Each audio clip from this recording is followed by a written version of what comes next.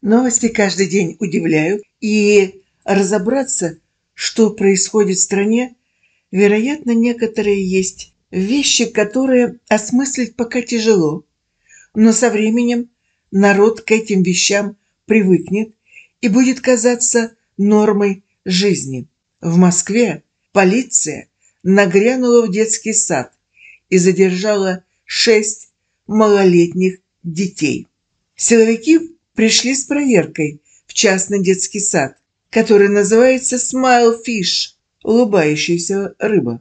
По доносу они пришли, по доносу жительницы дома, в котором он расположен, детский сад. Они потребовали оригиналы лицензии и договоров с родителями, но сотрудники смогли предоставить лишь копии. После этого полицейские обвинили воспитателей в незаконной деятельности и забрали шестерых детей в возрасте от года до четырех лет в участок. Нет, друзья, вы не ошибаетесь. Вы слышите именно те новости. Я рассказываю новости из Moscow Times. Это не Луна, это не Бангладеш, это Москва. Еще раз повторяю, что после того, как полицейские обвинили воспитателей в незаконной деятельности, забрали шестерых детей в возрасте от года до четырех лет в участок.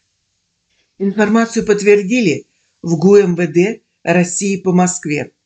Рассказали, что некая женщина пожаловалась в Роспотребнадзор на организацию незаконного детского сада в квартире жилого дома на улице космонавта Волкова.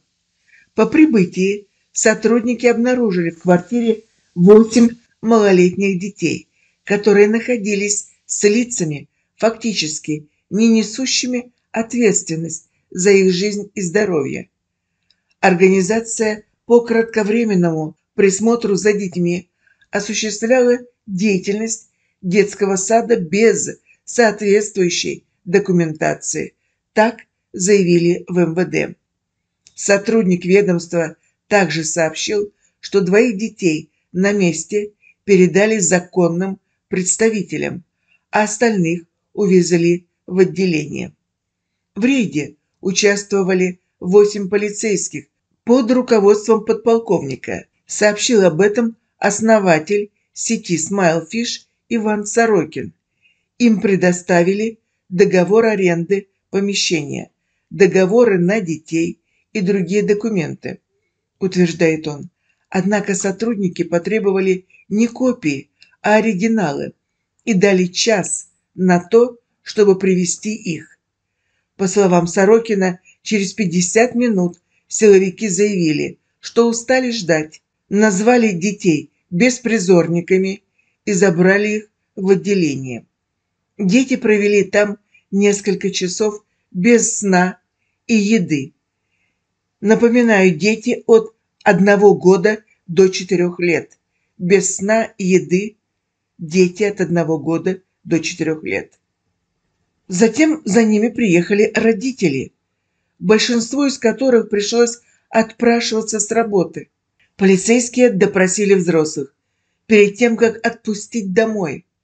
Мама годовалого мальчика и четырехлетней девочки Дарья Буза рассказала агентству, что детям в отделении не предложили даже воды и не водили в туалет. Дети от года до четырех не водили в туалет. Это просто дикость. Меня поставили перед фактом, что дети едут в полицию. Согласия никто на это не давал. Дети голодные и сонные поехали в отделение. Там к ним относились плохо. Не спросили об их состоянии, не спросили, хотят ли они в туалет.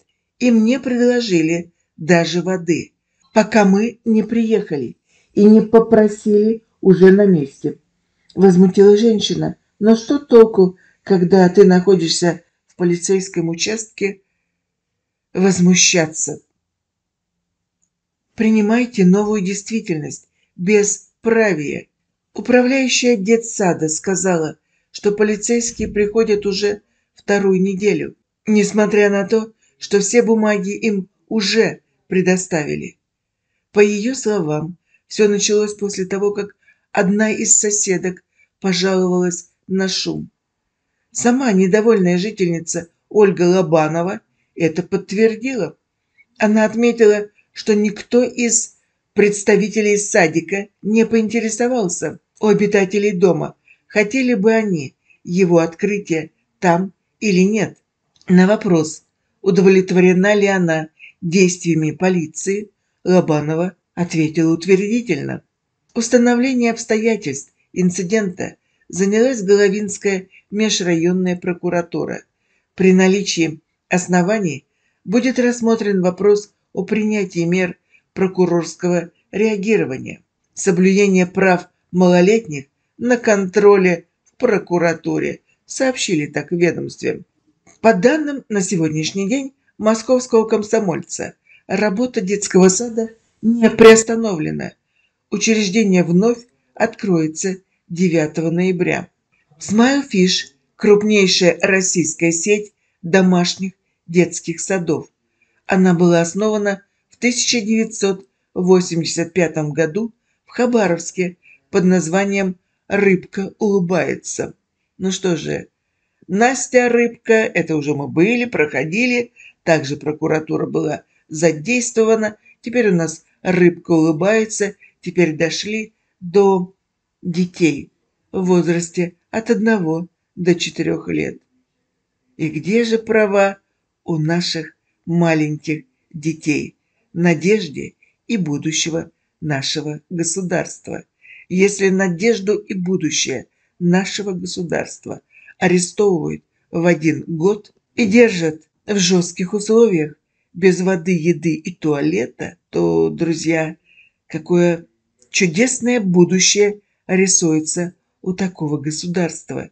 Я Таня Карацуба, Сиит Бурхан. Сегодня 11 ноября 2023 года.